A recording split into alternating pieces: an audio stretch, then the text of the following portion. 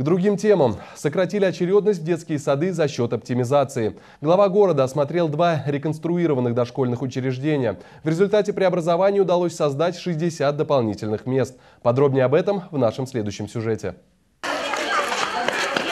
Двери детского сада номер 21 в сентябре распахнулись еще для 20 дошколят. Создать здесь дополнительную группу удалось за счет модернизации дошкольного учреждения. В ходе ремонта обновили эвакуационные лестницы, закупили современную мебель, посуду и игрушки. Теперь в детском саду и новый пищеблок. От питания очень многое зависит. Когда дети растут, они должны хорошо питаться.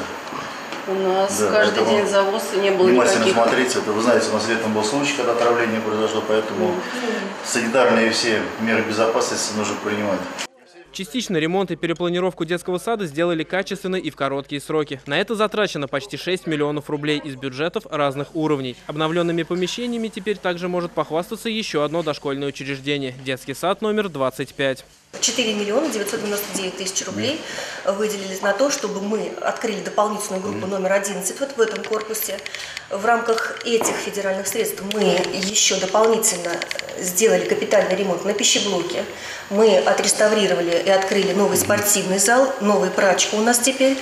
За счет оптимизации площадей в детском саду появились 40 дополнительных мест. Отремонтированы прачечная, пищеблок и даже физкультурный зал.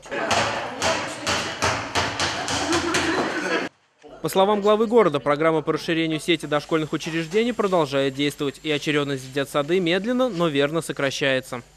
Нужно понимать, что, конечно, ребенок может воспитываться и в домашних условиях, а, но все-таки основное воспитание базовое, конечно же, ребенок получает вот в таких учреждениях, потому что мы очень неплохо вкладываемся, преподавателей, в тематику, которая здесь э, есть. И это приводит к хорошему эффекту в воспитательных процессах наших детей. На 1 сентября 2015 года очередность в дошкольные учреждения города составила всего 149 ребят. Но работу по реконструкции и возведению детских садов будут проводить и дальше. Так, в этом году планируется отремонтировать в общей сложности 7 детских садов и построить два новых. Александр Старков, Екатерина Барковская, Максим Пустовалов, РЕН-ТВ, Саратов.